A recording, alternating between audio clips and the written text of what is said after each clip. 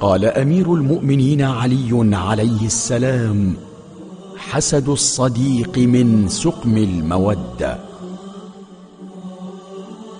صدیق اکبر و فاروق اعظم امیر المؤمنین علی علیه السلام فرمودند حسادت بر دوست از آفات دوستی است.